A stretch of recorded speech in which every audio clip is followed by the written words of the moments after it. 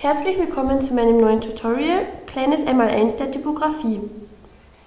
Falls am oberen Rand die Palette Steuerung nicht sichtbar sein sollte, klicken wir hier oben auf Fenster Steuerung.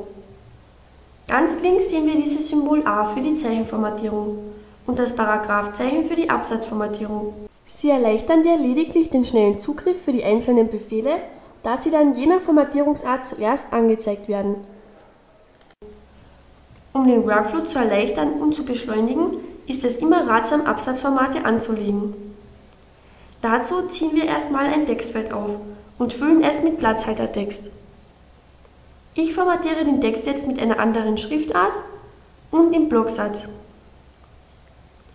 Falls das Fenster Absatzformate nicht sichtbar ist, klicke ich auf Fenster, Formate, Absatzformate. Ich klicke in den Text, dann auf das Hamburger-Menü und wähle Neues Absatzformat. Ich benenne es dem Stil passend, in meinem Fall Normal.